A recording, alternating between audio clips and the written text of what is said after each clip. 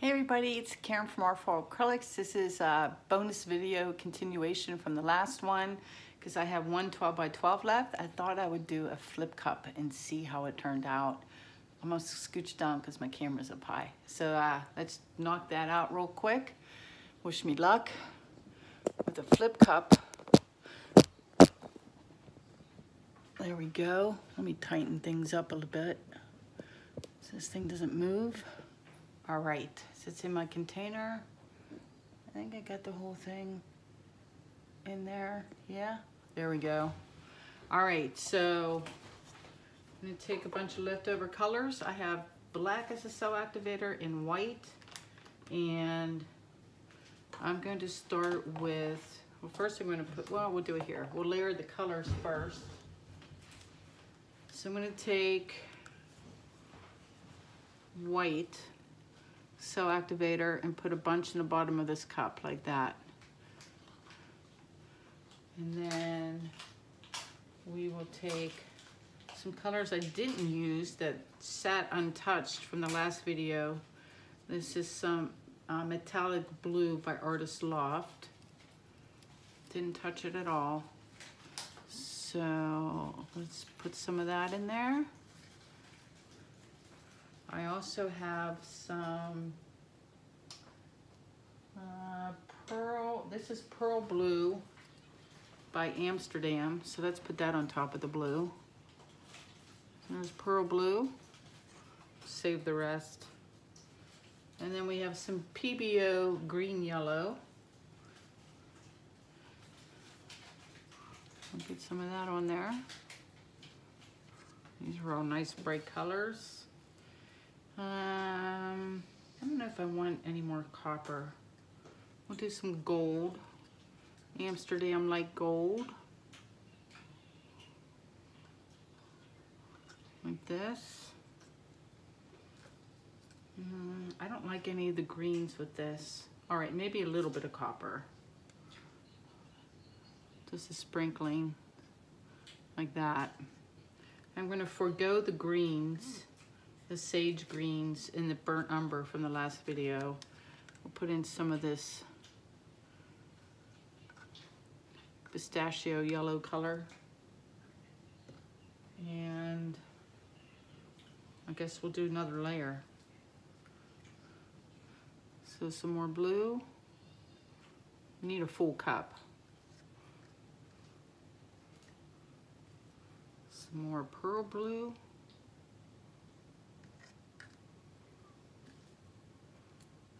Some green yellow. This is going to kill off the gold.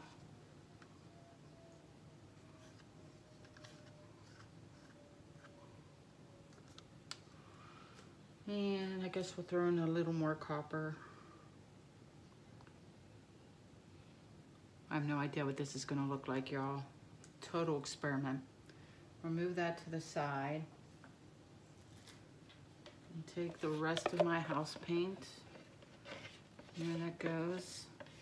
So this quart did, I have a couple others I did off camera.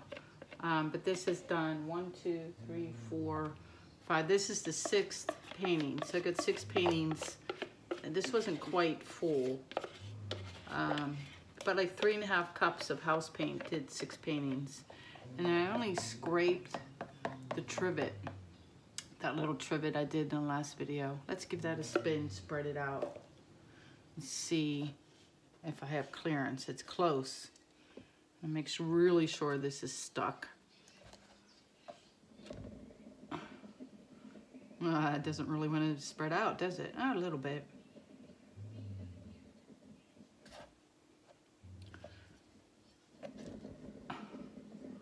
There we go. That's good. So whatever's left in my cup, I will use for the edges, but that'll help slide things around since this is just a cup. So there's my cup. We have black, um, or I mean white as the cell activator on the bottom. And I'm gonna put black as the cell activator on the top. So cell activator, top and bottom. tinted house paint, basically. And oh boy, ready?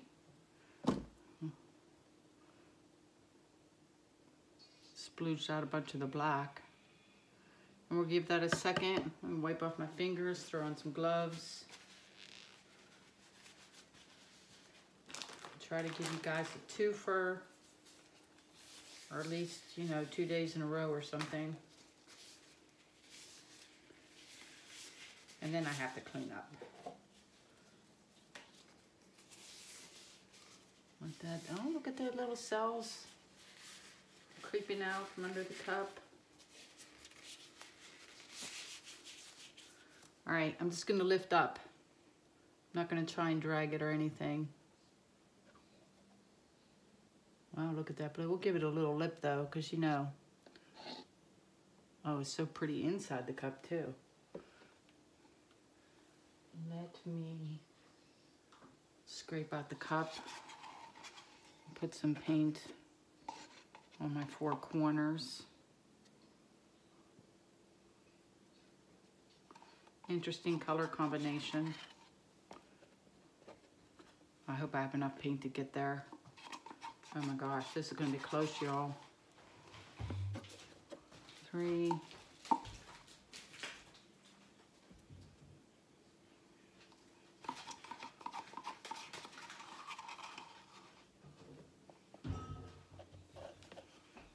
Four.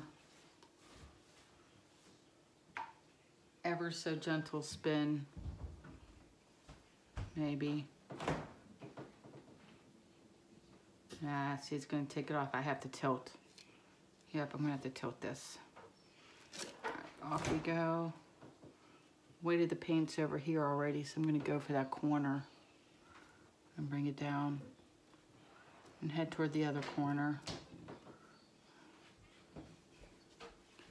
Or maybe not. Let's go over here.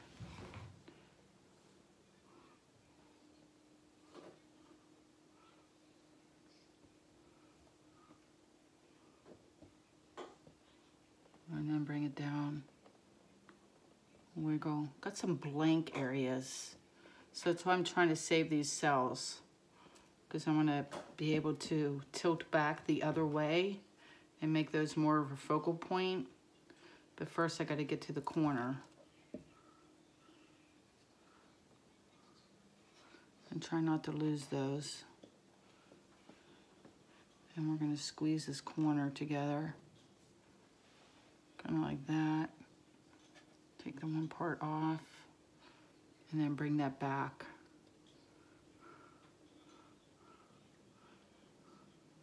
And then head over to the other corner.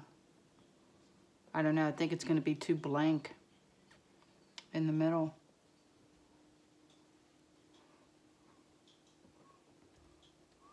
We'll see.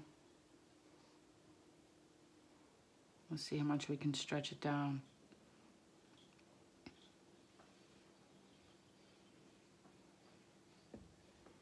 And come over this way.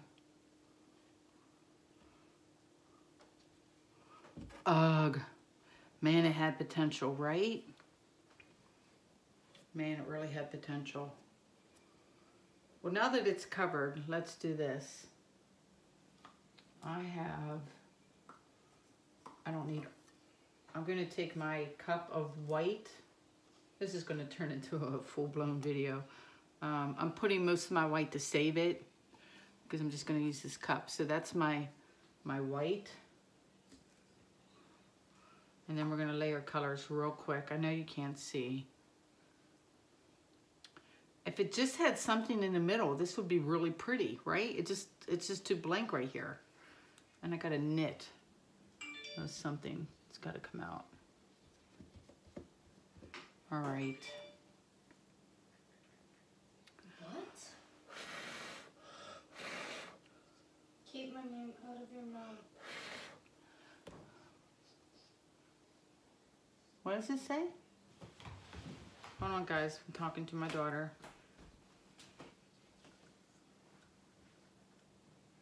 Who's it from? All right, we'll talk about it after. Don't answer her. I'm doing the same thing. So blue, green, I guess I can plop it right here in the middle. Blue, green, killing off the gold. I shouldn't need a full cup with all this paint on here. The gold, the copper.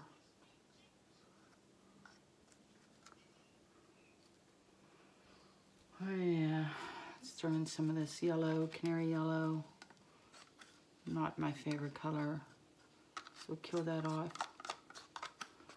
I'm loving these little plastic Dixie cups they're, uh, you can let the paint dry and it peels fairly easily, which is nice.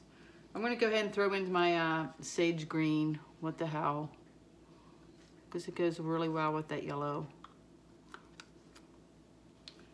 Um, a little more blue.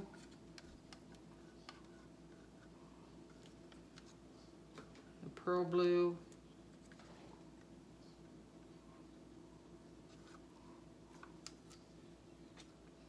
What else do I have left? I have some true sage, just a little bit. Kill that off. And well, it's the only color I really have left is I have some burnt umber. This is a total potpourri of colors.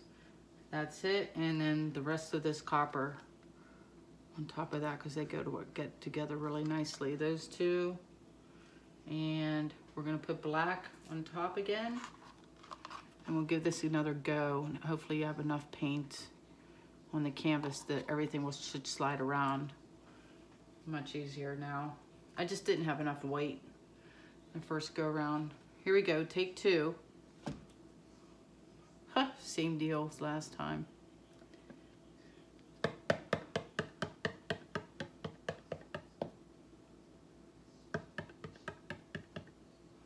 You talking about her today? Oh, she can hear me. All right, ready?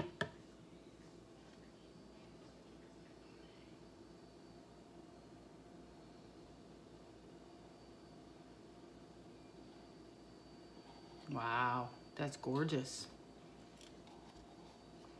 That's gorgeous with all those colors.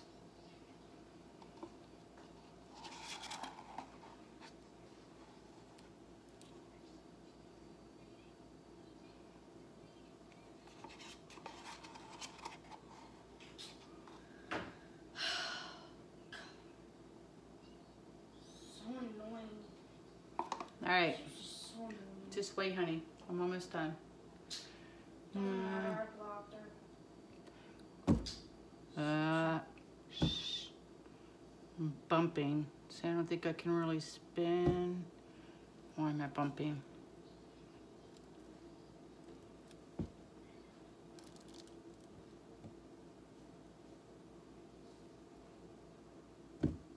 Yep, I'm gonna have to tilt.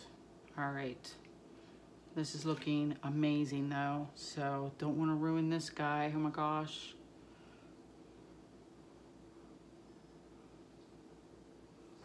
I'm just gonna kind of go in a circle for a second. I want to go off this edge.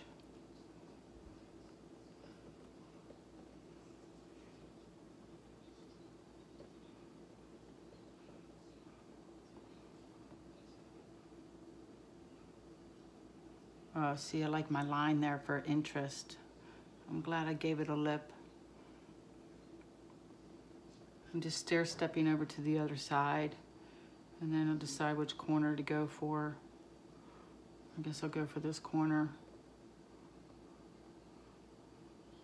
Toward you guys. All the way. Because I have a ton of paint. And then bring it back to the center. I got a bikini corner. That one far end. See it? Do I care? Nope, the rest of this is too great to worry about a bikini corner. Oh my gosh, I wish I could just leave it like this. I really do. Because I love this. I kind of don't want to pour it off. So let me think a second. Slow down, stare at it. let's lose some of this plain stuff and just come straight down this way so we can keep some of the old because that's really that's really beautiful. This is just phenomenal. Love all the lacing here. Love the change of colors.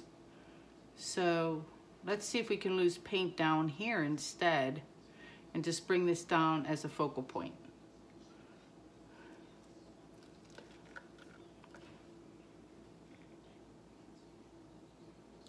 Yep, we're just gonna kind of keep the paint in the middle. We might be able to lose that bikini corner. Yep, I'm gonna go for that, because you know me.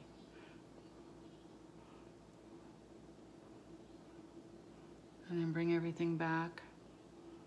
Let me stare. I love that one crazy design. Oh my gosh. Let me stare at this. I'm gonna flip it toward me so I can look at it in a bunch of different orientations. One little corner. This corner looks great. I love it just the way it is, y'all. Oh my gosh. Oh my gosh. It's amazing.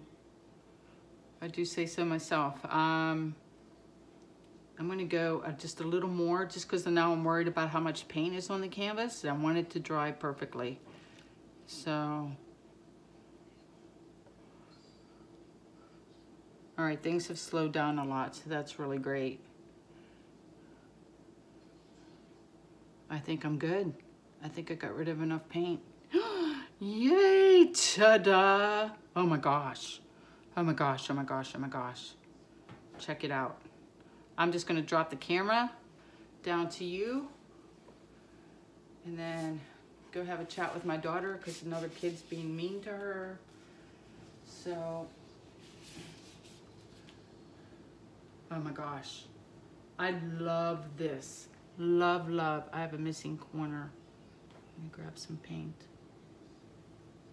Missing paint on the corner. Sides are good. Yep, looking great. Don't move. Let me just try and lower you and leave you on the stand. Just wiping off my fingers. I don't want to stretch it out any anymore um, yeah, it's done. So let me just drop you down like this and get closer. And then loosen this up. That do the trick? And then get you down like this.